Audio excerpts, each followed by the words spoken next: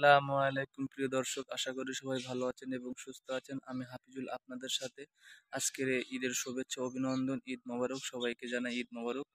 তো আশা করি সবাই ভালো আছেন এবং সুস্থ আছেন। তো আমার এই ভিডিওটা কোথা থেকে দেখছেন এবং দেশ ও দেশের বাইরে যে যেখান থেকে আছেন, অবশ্যই কমেন্টে জানাবেন যে কোথা থেকে আপনি এই ভিডিওটা দেখছেন। সত্য বলে যারা আছে, তারাই হাত পাবে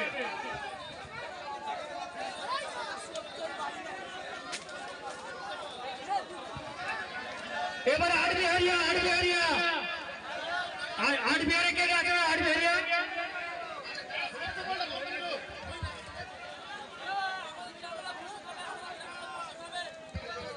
ইফতারের মালকে ডবল করে নেবে